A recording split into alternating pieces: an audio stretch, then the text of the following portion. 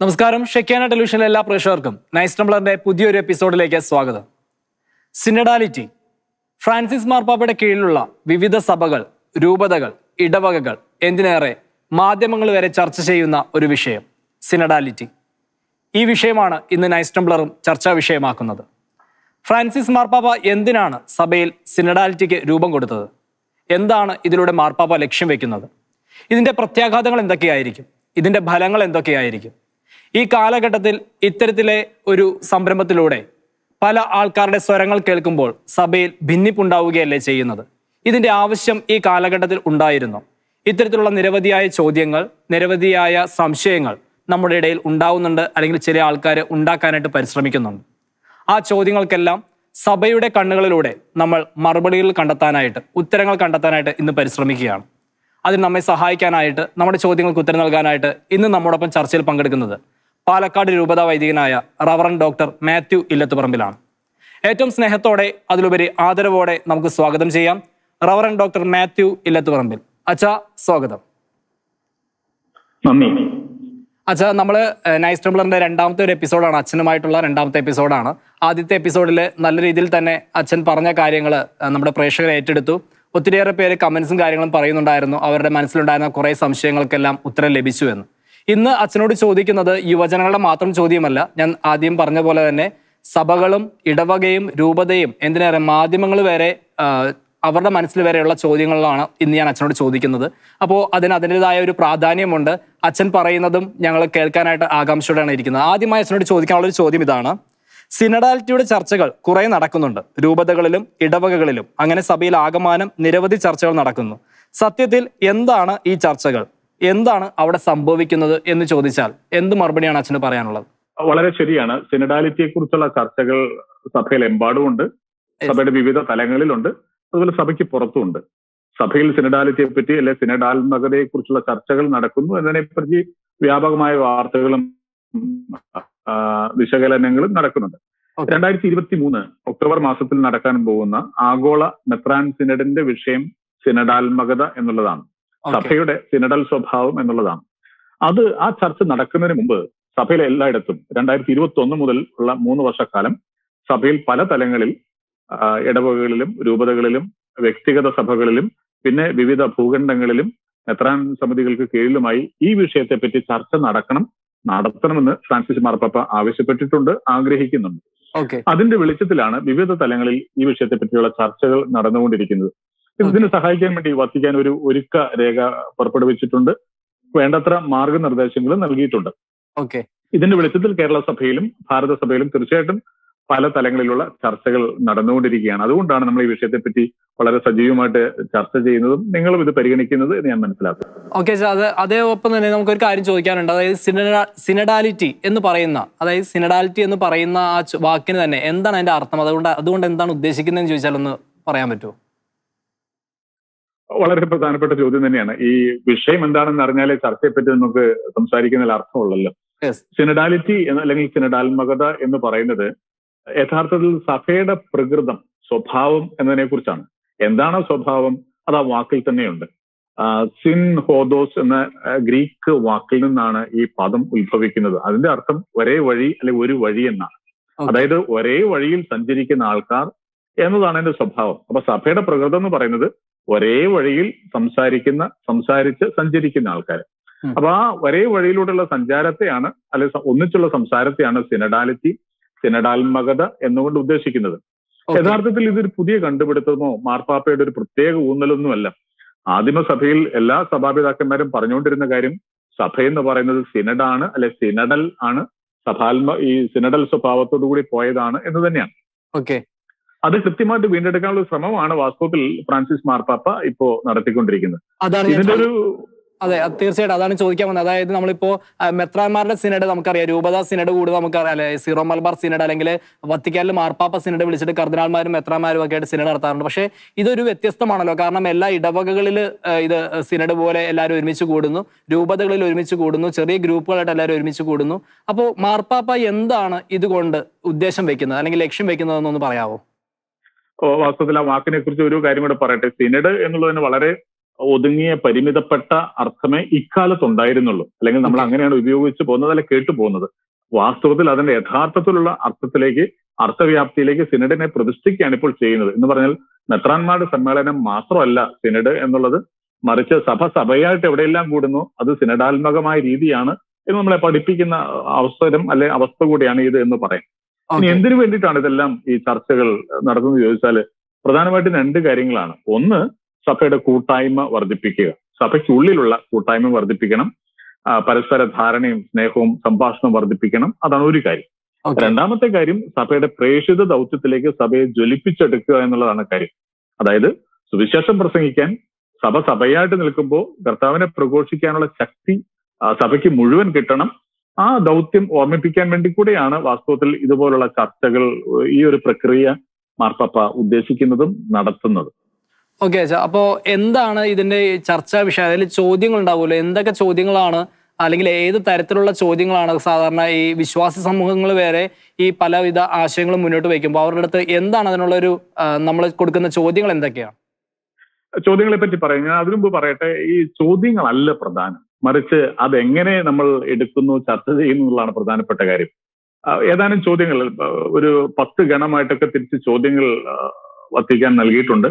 ചോദ്യങ്ങൾ എല്ലാം ചർച്ച ചെയ്യണമെന്നോ ചോദ്യങ്ങളുടെ ഉത്തരങ്ങൾ വളരെ പ്രധാനമാണെന്നോ എന്നുള്ളതല്ല. മറിച്ച് ഈ ചോദ്യങ്ങളെ നമ്മൾ എങ്ങനെ കൈകാര്യം ചെയ്യുന്നു. പരസ്പരം എങ്ങനെ ചോദ്യങ്ങൾക്ക് ഉത്തരം കണ്ടുപിടിക്കുന്നു ആ പ്രക്രിയ ആ പ്രോസസ്സാണ് പ്രധാനം. അതിനാണ് ഊന്നൽ കൊടുത്തിട്ടുള്ളത്. ഞാൻ അതിനെ പറ്റി അതിനെക്കുറിച്ച് പിന്നീട് പറഞ്ഞുകൊള്ളാം. അപ്പൊ ആദ്യം ചോദ്യങ്ങൾ വളരെ ഞെട്ടിപ്പിക്കുന്ന ചോദ്യങ്ങളൊന്നുമല്ല. ഉദാഹരണത്തിന് സഭയുടെ ദൗത്യ നിർവഹണം ഇപ്പോ ഈ കാലത്ത് എങ്ങനെ നടക്കുന്നു? സഭയിലെ കൂട്ടായ്മ എങ്ങനെയുണ്ട്? ഇടവകയിൽ അല്ലെ രൂപതയിൽ കൂട്ടായ്മ എന്തുമാത്രമുണ്ട്? വിവിധ വിഭാഗങ്ങൾ തമ്മിലുള്ള ഐക്യം സ്നേഹം എങ്ങനെ പോകുന്നു? ശുശ്രൂഷകളുടെ തലത്തിലുള്ള ഫലദായകത്വം എങ്ങനെയാണ്? ദൈവാരാധന ഒരു അനുഭവമായിട്ട് മാറുന്നുണ്ടോ? അതോ ചടങ്ങായിട്ടാണോ നിൽക്കുന്നത്?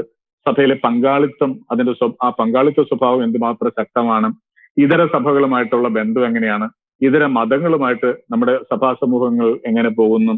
നമ്മളൊരു ദൗത്യ ബോധത്തിലാണോ മുന്നോട്ട് പോകുന്നത്? ഇത്തരം ചോദ്യങ്ങളാണ്. അപ്പൊ അതുകൊണ്ട് ചോദ്യങ്ങൾ അസാധാരണമോ ആരും കണ്ടിട്ടോ കേട്ടിട്ടില്ലാത്ത ചോദ്യങ്ങളല്ല. മറിച്ച് മാർപ്പപ്പ പറയാൻ ഉദ്ദേശിക്കുന്നത് ഈ ചോദ്യങ്ങൾ നമ്മൾ എങ്ങനെ ഉത്തരം കണ്ടെത്താൻ ശ്രമിക്കുന്ന ചോദ്യങ്ങൾക്ക് എന്നുള്ളതാണ് പ്രധാനപ്പെട്ട കാര്യം. അതുകൊണ്ട് ഈ പ്രോസസ് ആണ് പ്രധാനം. മറിച്ച് ഇതിന്റെ ഉത്തരങ്ങളല്ല. ഓക്കെ സാർ അപ്പോൾ ഒന്നും കൂടി ചോദിച്ചോട്ടെ. അപ്പോൾ ഈ പ്രോസസ്സ് അതായത് ഇങ്ങനെ ഒരുമിച്ച് കൂടി ചർച്ച ചെയ്യുന്നു പല ആൾക്കാരുടെ സ്വരം കേൾക്കുന്നു. ഇങ്ങനെയൊക്കെ ഒരു കമന്റ് നമുക്ക് ഇങ്ങനെ കുറച്ച് ആൾക്കാർ സംസാരിക്കുന്നത് കേട്ടതാണ്. ഇതൊക്കെ ഒരു പ്രദർശനം മാത്രമാണ്. അല്ലാതെ ഇതിലൂടെ സഭയ്ക്ക് ഒരു മാറ്റം വരില്ല. അല്ലെങ്കിൽ ഇതിലൂടെ സഭയ്ക്ക് ഒരു ഒരു ഉയർച്ച ഉണ്ടാവാൻ ചാൻസ് ഒന്നുമില്ല ഇതൊക്കെ ഒരു പ്രദർശനം മാത്രമാണ് ചിലർ പറയുന്നുണ്ട്. സത്യത്തിൽ ഇത്തരത്തിലുള്ള സംഭവങ്ങൾ ഇതൊരു പ്രദർശനം മാത്രമാണോ? അല്ലെ ഇതിലൂടെ സഭയിൽ ഒരു മാറ്റം വരും എന്ന് അച്ഛൻ വിചാരിക്കുന്നുണ്ടോ? അതെന്തായി തീരുമെന്നുള്ളത് തീർച്ചയായിട്ടും ഈ പ്രക്രിയ പൂർണമായി കഴിയുമ്പോഴേ നമുക്ക് പറയാനായിട്ട് സാധിക്കുകയുള്ളൂ. വിപ്ലവകരമായിട്ടുള്ള മാറ്റങ്ങൾ ഉടനടി വേണം എന്ന് ശഠിക്കാൻ നമുക്ക് ആർക്കും സാധിക്കില്ല.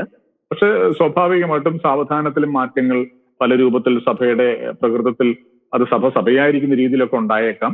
മാർപ്പാപ്പ തീർച്ചയായിട്ടും ഈ രണ്ടായിരത്തി ഇരുപത്തി മൂന്നിലെ സിനഡിന് ശേഷം തീരുമാനങ്ങളോ നിർദ്ദേശങ്ങളോ ഒക്കെ പറയാനുള്ള സാധ്യതയുണ്ട് തീർച്ചയായിട്ടും. അതേസമയം ഇത് ഈ നേരത്തെ പറഞ്ഞ അഭിപ്രായം പറഞ്ഞതുപോലെ അല്ലെങ്കിൽ സംശയിച്ചതുപോലെ ഇത് വേറൊരു ചടങ്ങായിട്ട് തീരുമോ ഇല്ലയോ എന്നുള്ള കാര്യം നമ്മളെ നമ്മൾ ഓരോരുത്തരെ ആശ്രയിച്ചിരിക്കുന്ന കാര്യമാണ്. അത് എന്തായി തീരും എങ്ങനെയായി തീരണം എന്നുള്ള കാര്യം. അതുകൊണ്ട് തീർച്ചയായിട്ടും നമ്മുടെ പങ്കാളിത്തത്തിന്റെയും കൂട്ടായ്മകളുടെയും ഇടപെടലിന്റെയും തോതനുസരിച്ച് ഒന്നുകിൽ അതൊരു ചടങ്ങായിട്ട് അവസാനിക്കും അല്ലെങ്കിൽ നല്ല വലിയ ഫലങ്ങൾ ഉണ്ടാക്കിയെടുക്കും ഇത് പലരും പല രീതിയിൽ പലരും മാർപ്പാപ്പയുടെ സർക്കുലർ പോലും കേൾക്കാത്ത ആൾക്കാരായിരിക്കും ചിലപ്പോൾ ഇതിനെപ്പറ്റിയൊക്കെ നെഗറ്റീവ് ആയിട്ടുള്ള കമന്റുകൾ ഉയർത്തിക്കൊണ്ട് വരുന്നത് എനിക്ക് തോന്നുന്നു അച്ഛൻ എന്തായാലും മാർപ്പാപ്പയുടെ സർക്കുലർ എന്തായാലും വായിച്ചിരിക്കും.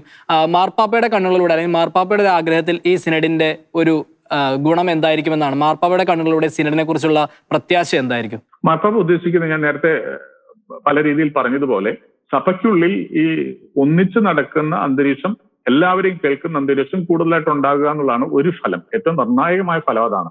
അതായത് എല്ലാ സ്വരങ്ങളും കേൾക്കപ്പെടണം. ഒരു സ്വരവും തള്ളിക്കളയപ്പെടാൻ പാടില്ല. എല്ലാവർക്കും ഇടം ഉണ്ടാവണം.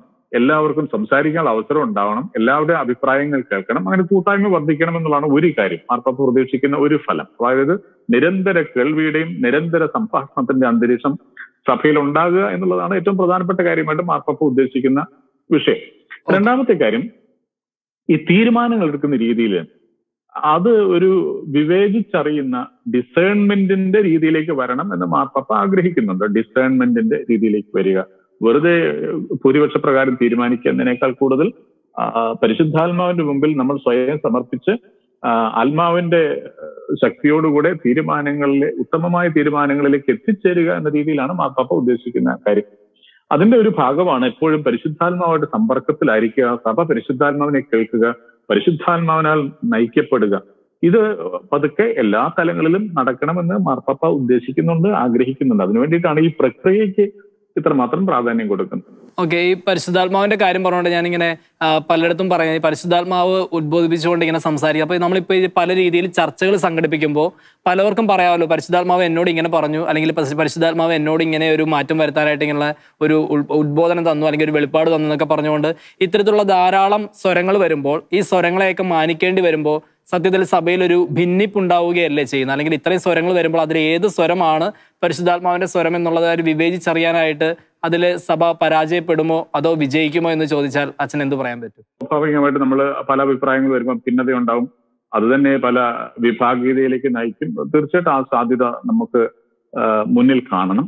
വാസ്തവത്തിൽ മാപ്പാപ്പയുടെ ചിന്ത അനുസരിച്ച് അല്ലെങ്കിൽ ഇത് വിഭാവനം ചെയ്യുന്ന രീതി അനുസരിച്ച് അത്തരം ഭിന്നതകൾ ഉണ്ടാകാൻ പോകുന്നില്ല എന്നുള്ളതാണ്. കാരണം ഒന്നാമത്തെ കാരണം നമ്മൾ ഇതുപോലെ ചർച്ച ചെയ്ത് വിശ്വാസമോ സന്മാർഗമോ സംബന്ധിച്ച എന്തെങ്കിലും അടിസ്ഥാന വിഷയങ്ങളിൽ തീരുമാനമെടുക്കുന്നില്ല. അതല്ല നമ്മുടെ കാര്യം.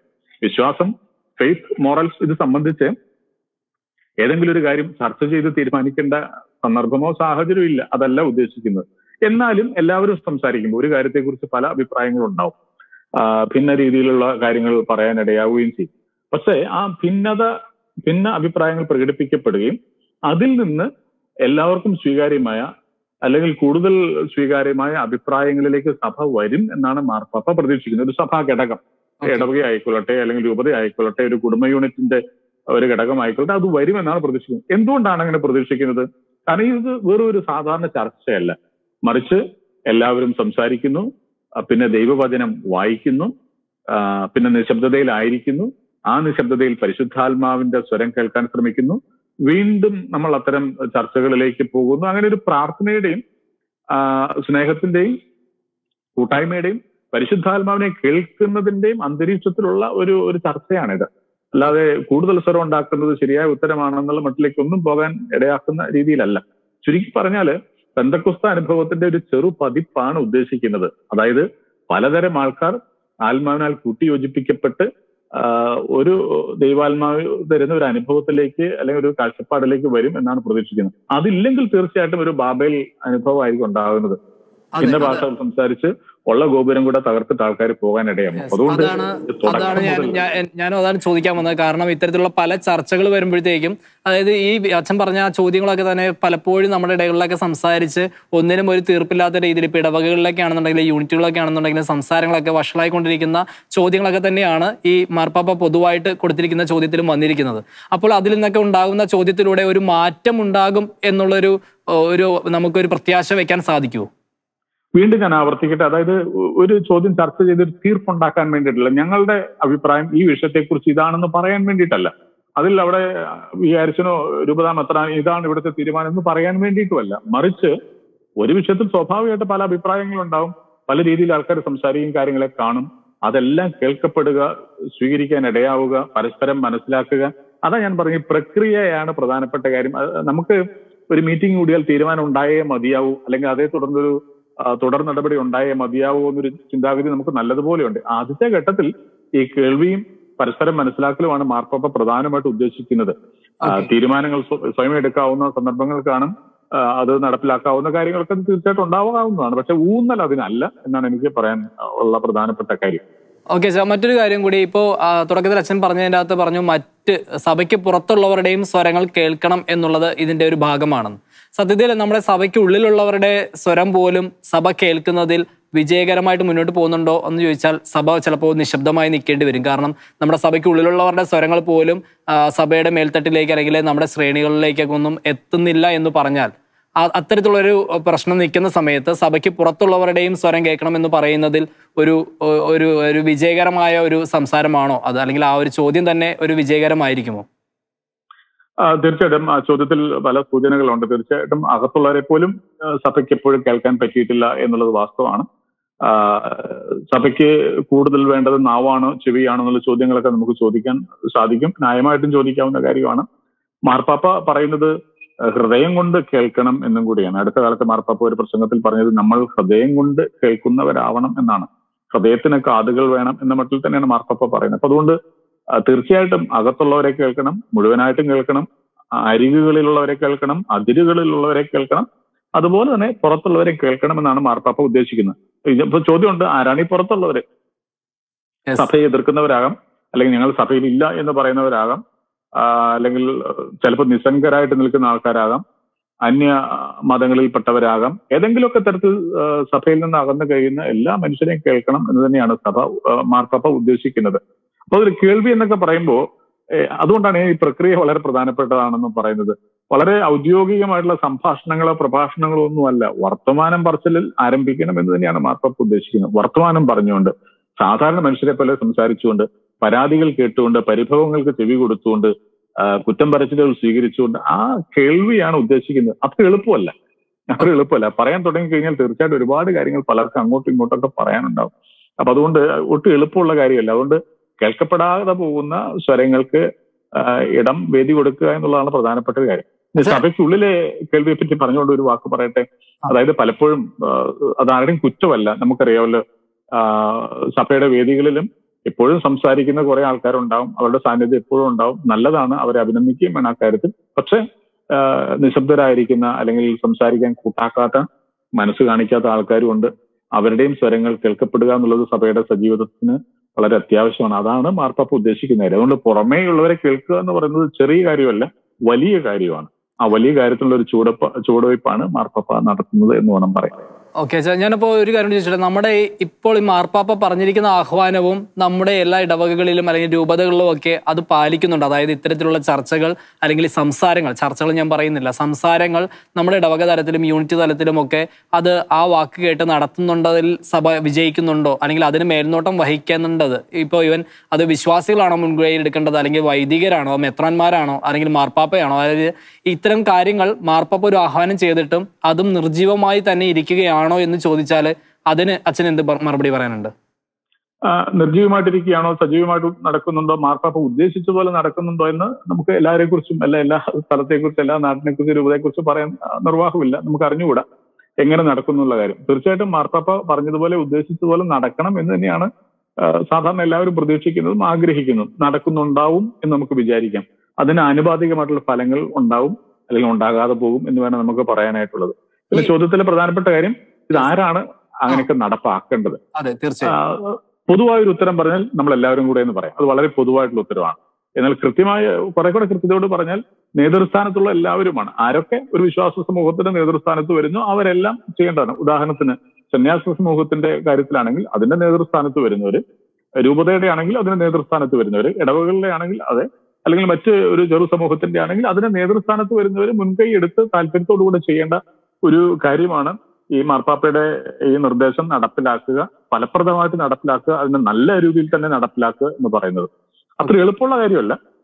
കാരണം ഈ നേരത്തെ സൂചിപ്പിച്ചതുപോലെ എല്ലാവരും എല്ലാ രീതിയിലും സംസാരിക്കാൻ തുടങ്ങുമ്പോൾ അതത്ര സുഖകരമായിട്ട് എപ്പോഴും മാറണമെന്നില്ല. അപ്പോൾ അത്ര എളുപ്പമുള്ള കാര്യമല്ല. എങ്കിലും മാർപ്പാപ്പ അത് ഉദ്ദേശിക്കുന്നുണ്ട്. ഇതിനോട് ബന്ധപ്പെടുത്തി ഒരു ഒരു അഭിപ്രായ ഒരു റിമാർക്ക് കൂടെ പറയാനുള്ളത്. സഭയിൽ നിര നിരന്തരം നടക്കേണ്ട ആന്തരിക മാനസാന്തരത്തെ കുറിച്ചാണ് നമ്മളെ എല്ലാവർക്കും വേണ്ട ആന്തരിക മാനസാന്തരത്തെ കുറിച്ചാണ് മാർപ്പാപ്പയുടെ തന്നെ ഒരുക്കരേഖയിൽ പറയുന്ന ഒരു കാര്യം. കൊർണേലീസിന്റെ മാനസാന്തരം നമ്മൾ നടപടി പുസ്തകത്തിൽ അപ്പസ്തോല പ്രവർത്തനങ്ങൾ പത്താമത്തെ അധ്യായത്തിൽ വായിക്കുന്നുണ്ട്. കൊർണേലീസ് മാനസാന്തരപ്പെട്ടു. വിജാതിനായ കൊർണേലീസ് വിശ്വാസം സ്വീകരിച്ചു. അതോടൊപ്പം നടന്ന മറ്റൊരു കാര്യം പത്രോസിനും മാനസാന്തരം ഉണ്ടായി. അതായത് വിജാതീയരായ ആൾക്കാരെ സഭയിലേക്ക് ക്രിസ്തുവിശ്വാസത്തിലേക്ക് ചേർക്കുമ്പോൾ അവർക്ക് യഹൂദ ആചാരങ്ങൾ അനുഷ്ഠിക്കണമോ വേണ്ടയോ എന്നുള്ള കാര്യത്തിൽ പത്രോസിനുണ്ടായിരുന്ന അഭിപ്രായം മാറ്റാൻ ഇടയായി അത് പത്രോ കൊർണേലീസിന്റെ മാനസാന്തരം ഒരേ സമയം പത്രോസിന്റെ കൂടെ മാനസാന്തരമാണ്.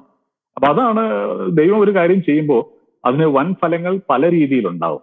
കൊർണേലീസിന്റെ മാനസാന്തരം സംഭവിക്കുമ്പോൾ തന്നെ പത്രോസിനും മാനസാന്തരം ഉണ്ടാവുകയാണ്. അതുപോലെ തന്നെ നമ്മൾ കാണേണ്ട ഈ സിനഡാലിറ്റിയുടെ രീതിയിൽ തന്നെ നമുക്ക് ചിന്തിക്കാവുന്ന കാര്യം ഈ വിഷയത്തോട് ബന്ധപ്പെടുത്തി പറഞ്ഞാൽ ഈ വിജാതിയരെ സഭയിലേക്ക് സ്വീകരിക്കുമ്പോൾ യഹൂദ ആചാരങ്ങൾ അവർക്ക് ബാധകമാണോ എന്നുള്ള ചോദ്യത്തിന് അനുഭാവപൂർണമായ ചിന്തയായിരുന്നു വിശുദ്ധ പത്രോസിനുണ്ടായിരുന്നത് എന്നാൽ പൗലോസ് ലീഹ നേരെ തിരിച്ചാണ്. പൗലോസ് ലീഹ അതുകൊണ്ട് പത്രോസിനെ തിരുത്തുന്നു കൂടിയുണ്ട് ഗലാത്തയ ലേഖനം രണ്ട് പതിനൊന്നിൽ നമ്മളത് കാണും. പത്രോസിനെ വിശുദ്ധ പൗലോസ് തിരുത്തുകയാണ്. അത് സ്വീകരിച്ചു വിശുദ്ധ പത്രോസ് എന്നുള്ളതാണ് അദ്ദേഹത്തിന്റെ മഹത്വം. അതാണ് സിനഡാലിറ്റി അടയാളം. അദ്ദേഹത്തെ തിരുത്തി സ്വീകരിച്ചു. അപ്പൊ അപ്പൊ ആ സമയത്ത് നമ്മൾ ഓർക്കേണ്ട കാര്യം വിശുദ്ധ പത്രോസിന് അപ്പസ്തോല സംഘത്തിൽ പ്രാമുഖ്യമുണ്ട്. വിശുദ്ധ പത്രോസ് പന്തക്കുസ്ത അനുഭവം നേരിട്ട് സ്വീകരിച്ച ആളാണ്. വിശുദ്ധ പൗലോസിന് അതില്ല. ആ. പന്ത്രണ്ട് പേരുടെ സംഘത്തിൽപ്പെട്ട ആളല്ല. പെന്തക്കുസ്തയ്ക്ക് അന്ന് ഹാജരായിരുന്ന ആളുമല്ല. എന്നാലും വിശുദ്ധ പൗലോസിന്റെ ആ നിർദ്ദേശം അല്ലെ അഭിപ്രായം അദ്ദേഹം സ്വീകരിച്ചു എന്നുള്ളതാണ്. അതാണ് വിശുദ്ധ പത്രോസിന്റെ മഹത്വം. നേരെ തിരിച്ച് പൗലോസിയുടെ കാര്യത്തിൽ പറഞ്ഞാലും ഞാനിത് പറഞ്ഞാൽ അപ്പസ്തോല പ്ര- പ്രമുഖനായ പത്രോസിന് മുഷിച്ചിലുണ്ടാവുമോ ഉണ്ടാവോ എന്ന് ശങ്കിച്ച് പൗലോസ്ലിക പറയാനുള്ള കാര്യം പറയാതെ മാറി നിന്നുമില്ല. അങ്ങനെ പറഞ്ഞു എന്നുള്ളതാണ് അദ്ദേഹത്തിന്റെ ധൈര്യവും അദ്ദേഹത്തിന്റെ മഹത്വവും. അത് പറയാനുള്ള അന്തരീക്ഷം ഉണ്ടായിരുന്നു എന്ന് എന്ന് പറയുന്നതാണ് ആ സിനഡാലിറ്റി എന്ന് പറയുന്ന കാര്യം. അപ്പൊ ആദിമസഭയിൽ തുടങ്ങി ഈ സിനഡാലിറ്റിയുടെ അന്തരീക്ഷം പല രീതിയിൽ ഉണ്ടായിരുന്നു. പിൽക്കാലത്ത് അത് കുറച്ചൊക്കെ നഷ്ടപ്പെട്ടു പോയതാണ് കാരണം സഭ ഒരു പിരമിഡൽ രീതിയിലേക്ക് വന്നതിന്റെ പശ്ചാത്തലത്തിലാണ് കൂടുതൽ പോയത്. വാസ്തവത്തിൽ ഫ്രാൻസിസ് മാർപ്പാപ്പ ചെയ്യുന്നത് രണ്ടാം വത്തിക്കാൻ കൗൺസിൽ മുന്നോട്ട് വെച്ച സഭ ദൈവജനമാണ് എന്നുള്ള ആ കാഴ്ചപ്പാടിനെ ഒന്നുകൂടെ ബലപ്പെടുത്തുന്ന ഒരു കാര്യമാണ് ഈ സിനഡാത്മകതയെ കുറിച്ചുള്ള ചർച്ചകളിൽ സംഭവിക്കേണ്ടത്. ഓക്കെ. എനിക്ക് അച്ഛന്റെ സംസാരം അല്ലെങ്കിൽ അച്ഛൻ ഇപ്പോൾ ഒരു ആ ഒരു ബൈബിൾ ഭാഗം കോട്ടിയെ സംസാരിച്ചത് എനിക്കൊന്ന് സാധാരണ വിശ്വാസ സമൂഹത്തിന് വളരെ ഒരു പ്രത്യാശ അല്ലെങ്കിൽ ഈ സിനഡാലിറ്റിയിൽ കൂടുതൽ ഒരു വിശ്വാസം ഉറപ്പിക്കാൻ പറ്റുന്ന രീതിയിൽ അത് അച്ഛൻ അവതരിപ്പിച്ചു. നല്ല രീതിയിൽ തന്നെ. ഞാൻ അച്ഛനോടായിട്ട് ഒരു വ്യക്തിപരമായിട്ട് ഒരു ചോദ്യം ചോദിക്കാനായിട്ട് ആഗ്രഹിക്കുകയാണ്. അച്ഛന് ഏകദേശം ഇതുമായി ബന്ധപ്പെട്ടുള്ള കാര്യങ്ങൾ ഈ നടന്ന ചർച്ചകളും കാര്യങ്ങളൊക്കെ അച്ഛനൊക്കെ കുറച്ചൊക്കെ പങ്കെടുത്തിട്ടുണ്ടാകാം. അല്ലെങ്കിൽ അതുമായിട്ട് ബന്ധപ്പെട്ട കാര്യങ്ങൾ അച്ഛൻ കുറച്ച് ശ്രദ്ധ പതിപ്പിച്ചിട്ടുണ്ടാകാം. ഈ നാളിതുവരെയുള്ള അച്ഛന്റെ വീക്ഷണത്തിൽ നിഗമനത്തിൽ ഈ സിന സിനഡാലിറ്റി അതൊരു വിജയകരമായിരിക്കുമോ? അതിലൂടെ സഭയ്ക്ക് നന്മ കൈവരുമോ? അല്ലെങ്കിൽ എന്ത് നന്മയായിരിക്കും മെയിനായിട്ട് സഭയ്ക്ക് ഉണ്ടാവുക എന്നൊരു ഒപ്പീനിയൻ അച്ഛന് പറയാൻ സാധിക്കുമോ ഇപ്പോൾ? സഹകരിക്കുന്നതിന്റെ തോതനുസരിച്ച് ഓരോ രാജ്യത്തും അല്ലെങ്കിൽ ഓരോ പ്രദേശത്തും ഓരോ രൂപതയിലും ഓരോ ഇടവകയിലും എന്തുമാത്രം സഹകരണ ബുദ്ധിയോടുകൂടെ നമ്മൾ ഇതിൽ ഉൾപ്പെടുന്നു അല്ലെങ്കിൽ ഇതിൽ പങ്കെടുക്കുന്നു അതിന് ആനുപാതികമായിട്ടുള്ള ഫലങ്ങൾ ഉണ്ടാകും എന്ന് മാത്രമേ നമുക്ക് ഈ ഘട്ടത്തിൽ പറയാനായിട്ട് സാധിക്കുള്ളൂ എല്ലാവർക്കും വേണ്ടി അല്ലെങ്കിൽ സംഭവിക്കാൻ പോകുന്ന കാര്യങ്ങളെ കുറിച്ച് നമുക്ക് മുൻകൂട്ടി പറയാ പ്രയാസമാണല്ലോ. എങ്കിലും വളരെ പ്രധാനപ്പെട്ട ഒരു ഫലമായിട്ട് എനിക്ക് തോന്നുന്നത് എല്ലാവരും ഈ സഭ സിനഡാത്മകതയിലേക്ക് വരണം എന്നുള്ള കാര്യം ഒരു ഒരു ചിന്തയായിട്ടോ ആദർശമായിട്ടോ ലക്ഷ്യമായിട്ടോ മനസ്സിൽ കാണും എന്ന് ഞാൻ പ്രതീക്ഷിക്കുകയാണ്. നമ്മുടെ നമ്മുടെ യുവജനങ്ങൾ നമ്മുടെ യുവജനങ്ങൾ ഇതിലൂടെ കുറെ കൂടി സഭയിലേക്ക് അടുക്കുമെന്നൊരു പ്രതീക്ഷ അച്ഛനുണ്ടോ? തീർച്ചയായിട്ടും അങ്ങനെയാണ് സംഭവിക്കേണ്ടത്. അതായത് ഇക്കാലത്ത് സഭയെ സ്നേഹിക്കുക സഭയിൽ ശുശ്രൂഷ ചെയ്യാൻ എന്ന് എന്ന് പറയുന്നതിന്റെ അർത്ഥം സിനഡാത്മകമായി ചിന്തിക്കുക എന്നും കൂടെയാണ് അർത്ഥം. അപ്പൊ ശരിക്കും ഒരാൾ സഭയെ സ്നേഹിക്കുന്നുണ്ടെങ്കിൽ ശരി- ശരിക്കും ഒരാൾ സഭയിൽ അംഗമായിട്ട് നിൽക്കുന്നുണ്ടെങ്കിൽ അയാൾക്ക് സിനഡാത്മകമായിട്ട് ചിന്തിച്ച് മതിയോ കാരണം അത് സഭയുടെ പ്രകൃതമാണ്. അതൊരു പുറമേ നിന്ന് കെട്ടിയേൽപ്പിക്കുന്ന ഒരു സംഗതിയല്ല. അതാണ് സഭയുടെ പ്രകൃതം. അങ്ങനെ ആയിരുന്നു സഭ ആദിമസഭ മുഴുവനും.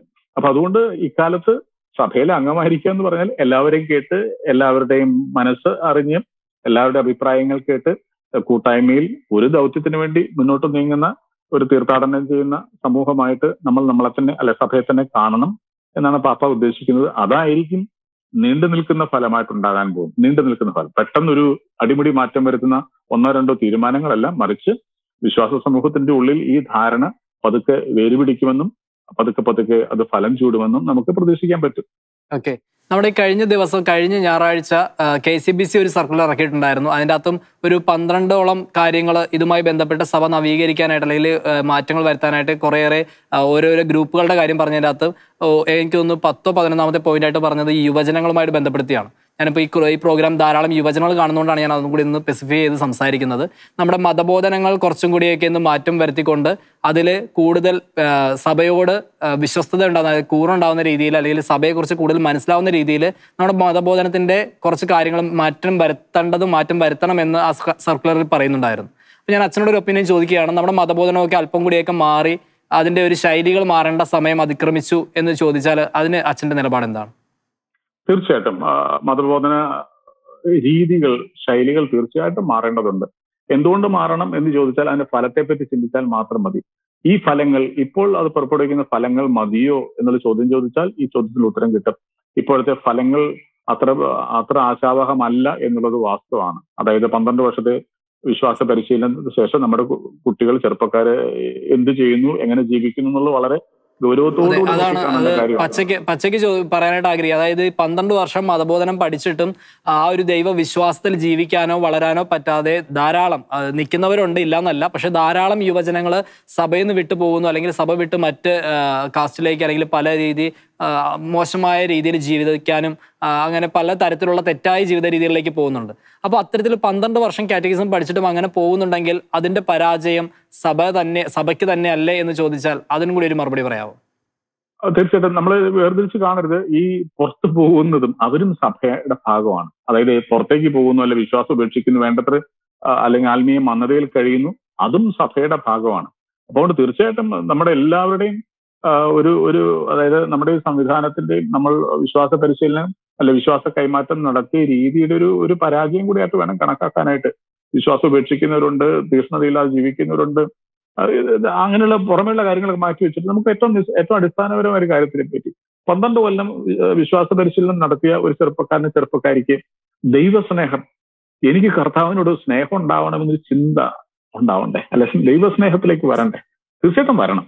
അങ്ങനെ എത്ര കുട്ടികൾ വരുന്നുണ്ടെന്നുള്ള കാര്യം നമുക്ക് കണ്ടുപിടിക്കൽ അത്ര എളുപ്പമല്ല. പക്ഷെ അടയാളങ്ങളിലൂടെ ലക്ഷണങ്ങളിലൂടെ ചില നിഗമനങ്ങൾ നമുക്ക് എത്താൻ സാധിക്കും. അപ്പൊ ആ അർത്ഥത്തിലൊക്കെ നമ്മൾ വളരെ ഗൗരവമായിട്ട് ഈ മേഖലയൊക്കെ പുനഃപരിശോധനയ്ക്ക് വിധേയമാക്കുമെന്ന് ഞാൻ വിചാരിക്കുകയാണ്. കാരണം ഒരുപാട് അങ്ങനെ ചിന്തിക്കുന്ന മനുഷ്യരുണ്ട്. ഒരുപാട് പേര് ചിന്തിക്കുന്നുണ്ട് ഈ കാര്യത്തെ പറ്റി അതായത് നമ്മുടെ ഈ സംവിധാനത്തിന് അത് കൂടുതലും അക്കാഡമിക് ആയിട്ട് പോയി വിശ്വാസ പരിശീലനം എന്ന കാര്യത്തിന് പകരം പാഠപുസ്തകങ്ങൾ പഠിപ്പിച്ച് പാഠങ്ങൾ തീർത്ത് സമയത്ത് പരീക്ഷ നടത്തി റിസൾട്ട് കൊടുത്ത് അവാർഡ് കൊടുക്കുന്ന അല്ലെങ്കിൽ സമ്മാനം കൊടുത്തു വിടുന്ന പരിപാടിയായിട്ട് ചുരുങ്ങിപ്പോയി എന്നൊരു പരിമിതി തീർച്ചയായിട്ടും ഉണ്ട്. അതുകൊണ്ട് വിശ്വാസ പരിശീലനം എന്നുള്ളത് ആ പരിശീലനത്തിന്റെ വിശ്വാസത്തിന്റെ കാര്യത്തിലുള്ള വലിയ ഊന്നൽ നമുക്ക് തിരിച്ചു കൊണ്ടുവരേണ്ട ആവശ്യകത ഇപ്പോൾ ഉണ്ട്.